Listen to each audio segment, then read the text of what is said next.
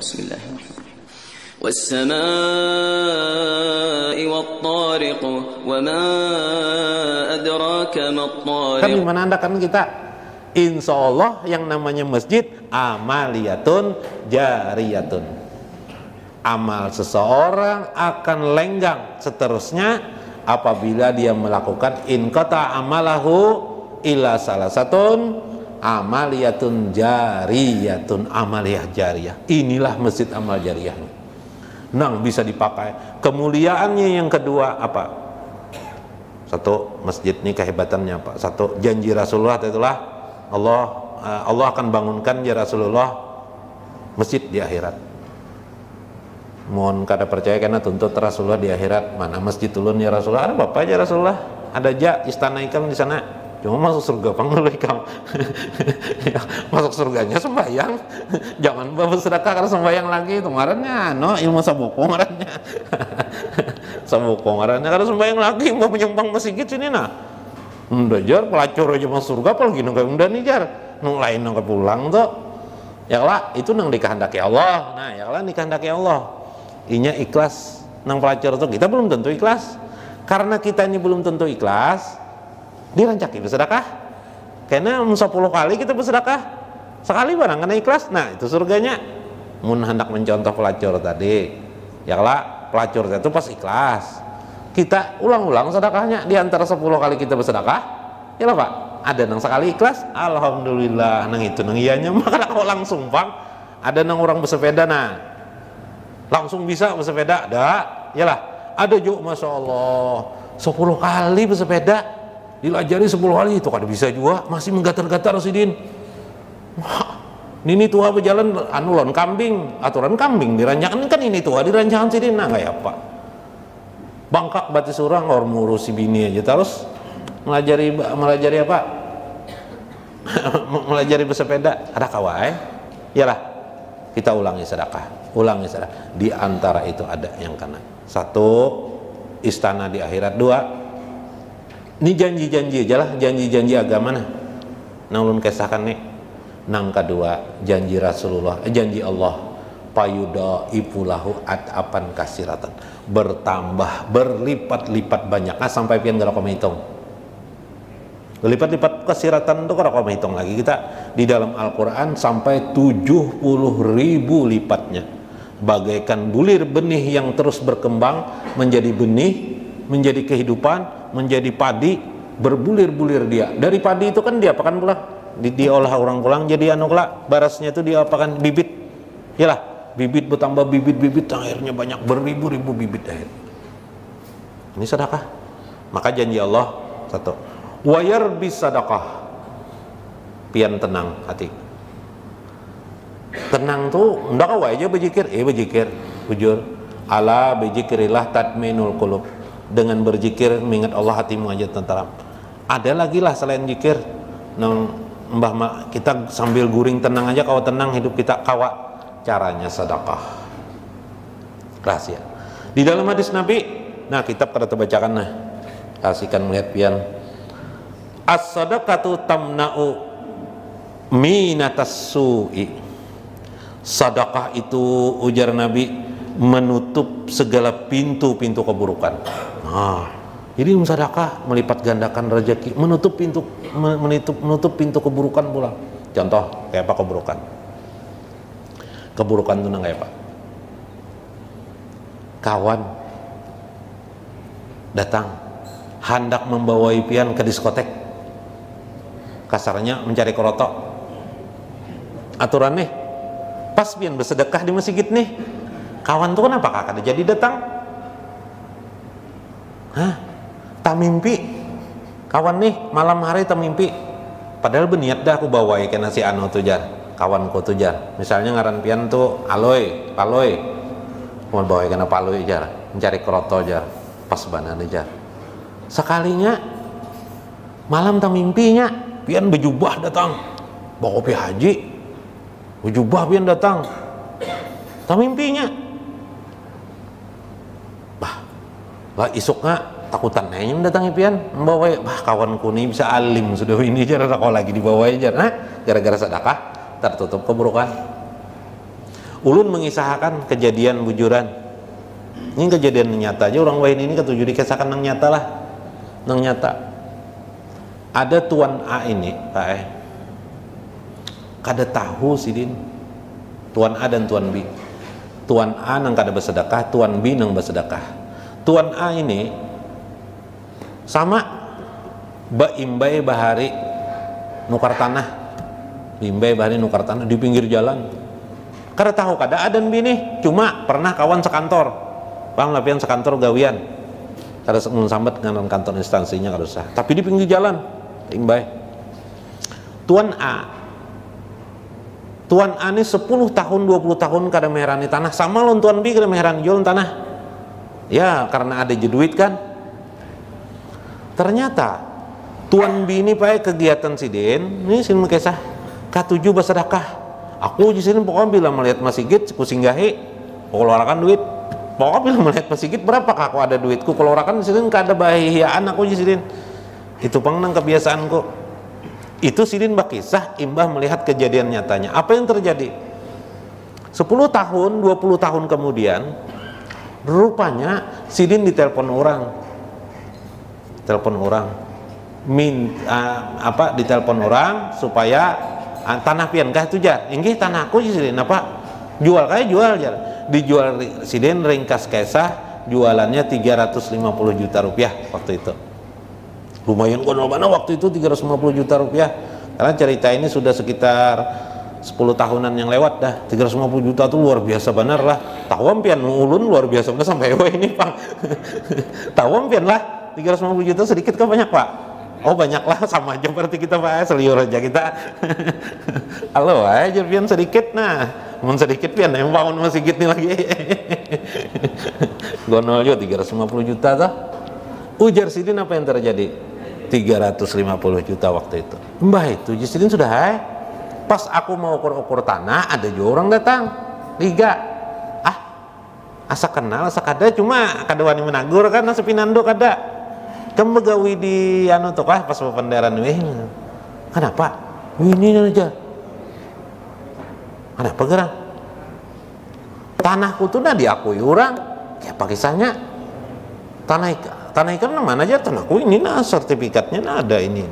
Jujur aja anak dia ambil lah tanahku di sini tanahku di sekitar sini. Jadinya mana yang hilang nih tanahku di sini?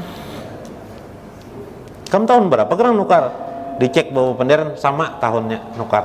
Tahun 80-an sama nukarnya tahun 80-an nah kisahnya apa? Tuan A ini bata ungu tahu mencari tanahnya hilang. Di situ juga nukarnya sama karena kantornya sama. Tapi jadi pinggir jalan nah ini ada pinggir jalan barangnya tanah kan? Siapa nang akan menjual rumah sini tanah? Ada dan akunnya lah ada nang akunnya bang. Satu nang menukari jualan unjuk gigi juga ini malah kelarangan. Rupanya apa? Tuan A ini tuan tuan A ini kada mau bersedekah. Orangnya. Tuan B ini katujuh itu bersedekah biarpun sedikit di mana tahunya sidin kada mau bersedekah? Sidin sorangan nama kisah tuan A nih iya Allah ajar aku nipang balasan apa balasannya? Ya aku ini kada bersyukur. Nah pada kan sini sini ini kada bersyukur. Kada mengingat di kondisi waktu sebenarnya. Maksud ulun apa yang terjadi? Manusia itu tidak tahu keburukan di belakangnya yang datang kadang ditutupi oleh Allah. Tuan di ditutupi Allah keburukan datang. Gara-gara apa? Rajin bersedekah? Rajin bersedekah aja nah ulun rajin jopang bersedekah aja. Apa bersedekah? Oh, tapi ulun bersedekah lon bini. Itu lain pulang Mbajar nang setiap malam Jumat tuh najar bilahnya ma anu bini jar. Bersedekah. Kalau itu lain sedekah itu lain sedekah. Uang tuh ayatnya waktu jahidu nabi amwalikum wa amfusikum itu lain pulang. Senyum bang ya bang guru jar senyum senyum tuh sedekah juga. Eh senyum sedekah juga. Tabasum tuh jar nabi sedekah bujur tuh sedekah. Cuma lain sedekah nang itu nang dikisahkan nih. Iyalah itu sedekah karena pakai harta. Nang dikisahkan Al-Quran itu hal adulukum nita itu sedekah menggunakan har harta. Beda. Nang itu sahabat kin menggawi ya semuanya. Ya kalau lah tahu nang di sinilah kada ada nunggawi kah? Nunggawi ya semuanya ngelak. Sedekah semuanya tapi lain yang itu nang dicatat itu maksudnya berpahala sedekahnya. Kalau nang ini lil fadilah pahala dan dapatkan pa fadilah. Makanya Abu Bakar ketika tahu ada pisabilillah hancap Abu Bakar mengeluarkan semuanya harta sidin. Eh Abu Bakar. Rasulullah bertakon salah Rasulullah SAW ala Abi Bakar ya Abu Bakar. Wahai Abu Bakar. Apa yang kamu tinggalkan? Matu buka minal mal. Habislah semuanya nih ke mana nih? Harta mana? Habis semuanya nih ya Rasulullah. Hah? ya Rasulullah. Apa yang kamu tinggalkan? Anak bini kamu ya Pak? Allah wa Rasul. Ada aja Allah wa Rasul. Ya Abu Bakar. Apa pina bar Abu Bakar Asidik harta sidin itu berkali-kali beliau sedekahkan. Kada pernah habis makanya Abu Bakar waktu meninggal masih banyak meninggalkan harta tanah termasuk mewariskan harta beliau kepada Aisyah radhiyallahu anha Abdurrahman Asidik mensedekahkan seribu ekor unta untuk kepentingan kaum muslim. Gara-garanya disinggung Nabi ya. Nih habis ke waktu nih. Sampai lah. Sedang sedikit lagi lah ulun kesahkan lah biar aja ulun menjajale anu nah supaya anu supaya apa sedikit lagi sebuting lagi nah kisah dalam Lubabun Nukul pi Asbabin Nujul Imam As-Sayuti mengisahkan. Ini kada terbaca lagi kitab kada apa jolah. Ulun pakai sah langsung aja. Jaluddin As-Sayuti. Jaluddin As-Sayuti mengisahkan dalam Lubabun Nukul waktu itu turun surah Al-Jum'ah surah Jum'ah yang dibaca imam biasanya Ya ayyuhalladzina amanu idza nudiya lis-salati min yaumil jum'ati fas'au ila zikrillah wajarul baik tinggalkan jual beli ya lah bila hari Jumat wajarul baik tinggalkan jual beli. Rupanya orang asik tulakan ke masjid kayak kita nih tulakan ke masjid. Rupanya entah kayak apa pas waktu itu dagangan bagian siapa Abdurrahman bin ini datang pas jamnya tuh nah dagangan Sidini dari Madinah dibawasin ke Madi ke Sam dari Sam ke Madinah. Jadi bila dari Madi, Madinah barang Madinah dibawasin ke Sam. Bila dari Sam barang-barang Sam tuh datang ke Madinah. Jadi orang nukar nih agen kah? Apa orang wah ini nih? Apa ngarannya nih? Memartai kah? Di atas partai apalagi agen. Jadi mendengar unta unta siapa? Abdurrahman bin Auf ini datang berabutan orang mendatangi. Masih gitu ditinggalkan sunyi masjid. Oman Anura sekalinya mendatangi dagangan Abu siapa? Abdurrahman bin Auf. Ma andak harga kaja orang nih ma apa jar kita nih? Kalau ibaratnya wah ini ma. Hah? Ma apa jar? Ini ulun nih lain pedagang nih apa ada kan pedagang ma apa ngarannya toh? Menukar bedahulu tuh menampah. Menampah supaya jangan diambil. Diambil. Ayo saking ribut. Karena memang Abdurrahman bin Auf ini ketujuannya bersedekah. Suatu hari ini bersedekah lawan Nabi Nabi ini gak ada apa-apa ya, anu ada ada jihad. Ya Rasulullah saya membawakan harta separuh an, harta emas. Disebutkan 300 dirham. 300 dirham itu banyak benar cukup juga Rasulullah. Mun kada cukup padangi sumat ya Rasulullah. Bobulik pulang sini mau ambil akan pulang. 300 dirham. Habis dah ya Rasulullah duit nang di di rumah lu nah habis nah habis akan sudah. Subhanallah. Nah sampai waktunya Lalu Abdurrahman bin Auf dia apa yang terjadi? Ketika orang datang itu disinggung Rasulullah. Eh, Abdurrahman Auf gara-gara ikam tumbur masjid. Orang hilangan di masjid. Kayak apa kita semeng Jumat? Mun kita wah ini pakai jam lah di masa Rasulullah itu masih kawa, nya kan ada jam hari. Ya lah, diadangi Rasulullah aja dulu di kiawe pulang di sadar pulang babulikan Hmm, kita di sini bisa ditinggalkan orang jemaah khotibnya bisa berceramah sorangan khutbah sorangan ya lah mbak apa yang terjadi? Jar Abdurrahman ulun sedekahkan ya Rasulullah samunya antun nah tuh ada seribu ekor unta tuh.